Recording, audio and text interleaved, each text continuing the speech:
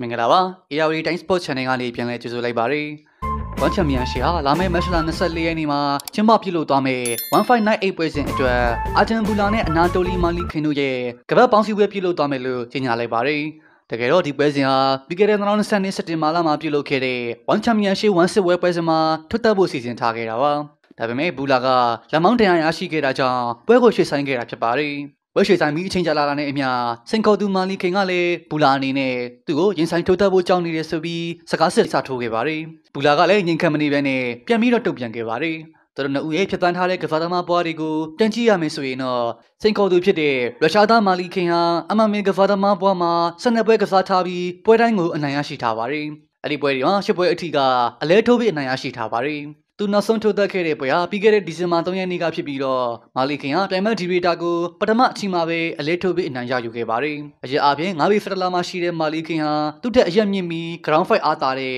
ဒီဗီတာကိုတော့အချုပ်မခံပဲလက်သီးနဲ့တင်ပွဲသိမ်းခဲ့ပါတယ်။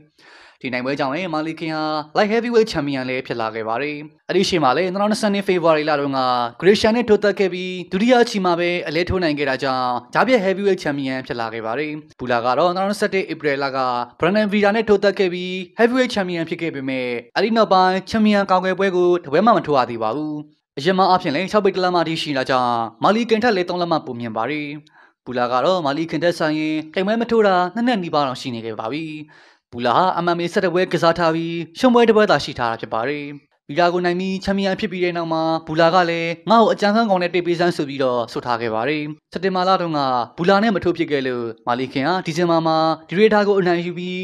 light heavyweight champion လည်းဖြစ်ထားပါတယ်။အဲဒီနောက်မှာတော့မာလီခင်က